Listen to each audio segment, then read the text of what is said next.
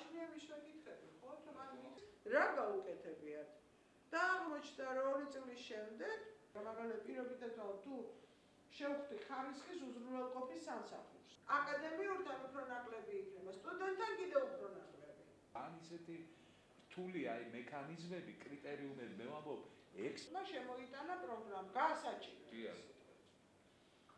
ტრეინინგები, რომელსაც ხარისხის უზრუნველყოფის ცენტრის დაყვეთით ახორციელებთ, ეხება ახალ ავტორიზაციის სტანდარტების მიხედვით უმაღლესი სასწავლო დაწესებულებების მიერ მათი მისიისა და სტრატეგიული დაგეგმვის კომპონენტს. ანუ ეს არის ორი კრიტერიუმი სულ 7-დან. ჩვენ ყველანი ერთად მონაწილეებით და ასე ვთქვათ, მე რომელსაც ამ წუთას წამყვანის ფუნქცია აქვს, ვცდილობთ შევაფასოთ რეალობა დავალაგოთ იმ კრიტერიუმების მიხედვით, რომელსაც გთხოვს ავტორიზაცია და შესაძლებლობების მიხედვით დავსახოთ, როგორ შეიძლება განვითარება მოხდეს.